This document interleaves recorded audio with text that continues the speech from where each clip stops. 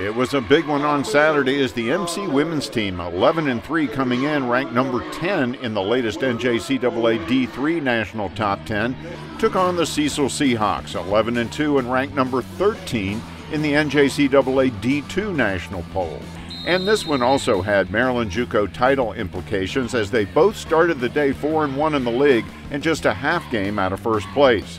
So, given their records, this one looked like it would be a tight one. But the Raptors may have had other plans as they jumped out to a quick lead when Jewel Johnson fed Anu Bamijoko, and the Raptors were off and running, quickly going up 8 2 after this Armani Lomax jumper.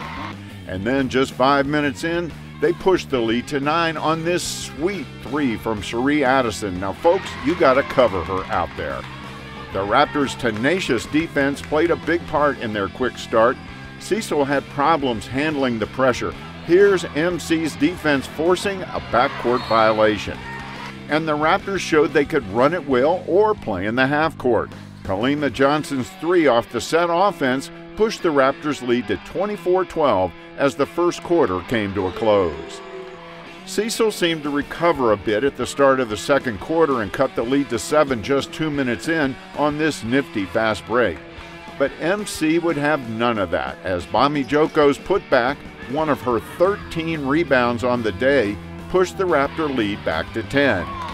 It seemed like every time the Seahawks might claw back into it, the Raptors' D would put a stop to it. Here, intense backcourt pressure results in a steal by Destiny Gray. And the Raptors kept building the lead, pushing it to 19 when Armani Lomax buried this 18 footer. And that was the margin at the half as MC led 46 27 at the break. The Raptors came out strong in the second half, determined not to let Cecil back into it. A big part of their success all day was ball movement against the Cecil zone.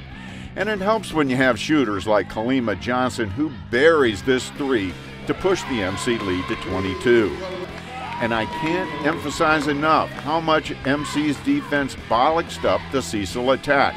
Here it is again, creating yet another turnover after a made foul shot. MC's half court D was strong all day, too. Johnson alters the shot, grabs the rebound, and then Jewel Johnson spots Addison all the way down the court for the mid range hoop, pushing the lead to 26. Cecil tried to climb back in by applying their own press, but MC handled it most of the time.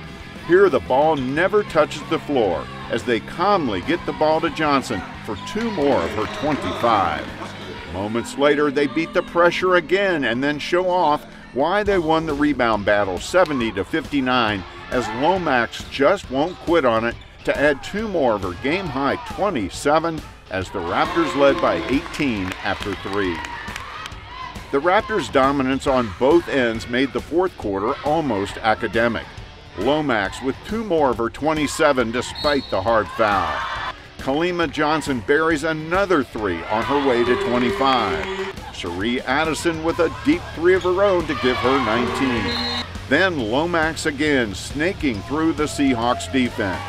Johnson again with her 20th rebound and another putback. As the Raptors cruise to perhaps their most impressive win of the season so far, 93 76. The win improves their record to 12 and 3 as they prepare for their game against arch rival Prince George's on Wednesday. For the Raptor Report, I'm Michael Brown.